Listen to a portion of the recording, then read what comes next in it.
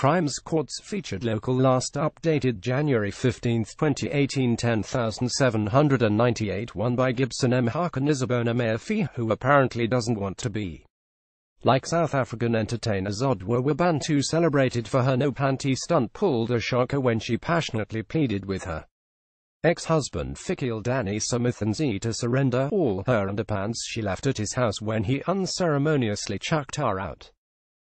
Mthunzi and Nizabone Mayor female Fee from Buluda village in Mombasa, Matabeleland North claimed that when Mthunzi divorced her, he didn't give her the chance to pack some of her belongings, particularly her panties.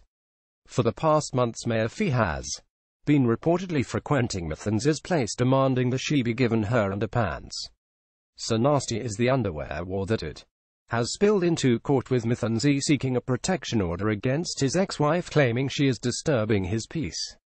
It is not true that I am disturbing his peace but whenever I went to his house I will be demanding that he give me some of my belongings which I left there when he chucked me out.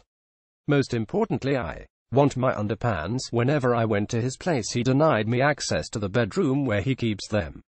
If he wants me not to come to his house he should give me my underpants and that's only what I want, declared Fee. She insisted that whenever she visited her ex-husband it was not that she wanted him but her underpants. Mayor Fee's passionate plea came after Mthunzi accused her of disturbing his peace by frequently visiting him at his Homestead. Nizabone Mayor Fee is my former wife and we have one child together. I am applying for a protection order against her because she is disturbing my peace.